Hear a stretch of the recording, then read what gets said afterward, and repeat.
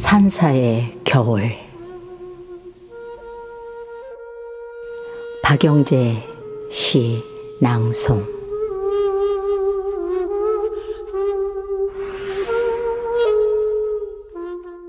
산새도 잠들고 진한 갈색 낙엽 위에 흰 눈 쌓인 포근한 깊은 산속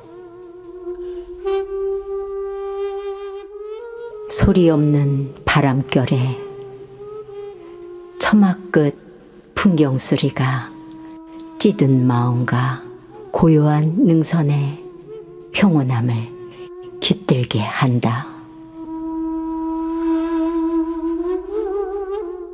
연불하시는 주지스님의 뒤태에서 풍김이 불자들을 위한 진한 마음을 토해내시는 우물에 절로 머리 숙여지고